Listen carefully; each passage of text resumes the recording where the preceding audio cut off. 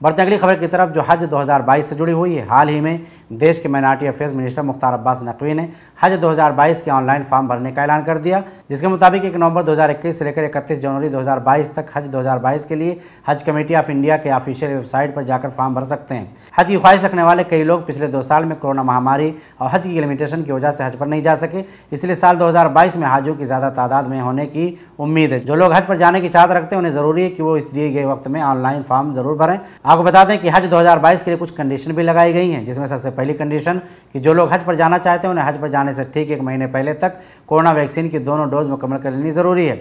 और दूसरी अहम बात, हज 2022 के लिए सिर्फ़ पैंसठ साल की उम्र तक के लोग ही अप्लाई कर सकते हैं। देश में कुल मिलाकर सऊदी अरब के लिए सिर्फ़ दस जगहों से ही फ़्लाइट उड़ेंगी। आपको बता दें कि इस वक्त सऊदी अरब सरकार ने सिर्फ़ फाइजर अस्ट्राजेनिका जो इंडिया में कोविशील्ड का हिस्सा है Johnson and Johnson Moderna Sinovac और सिनोफार्म सिर्फ़ इतनी ही वैक्सीन पास की हैं। तो जो लोग भी हज पर जाने का इरादा कर रहे हैं, उनके लिए ज़रूरी इन्हीं वैक्सीन में से कोई एक वैक्सीन ही लगाएँ, ताकि आपके सफ़र में कोई परेशानी ना आए। ऐसे ही और वीडियोस बनाने में हमारी मदद करें।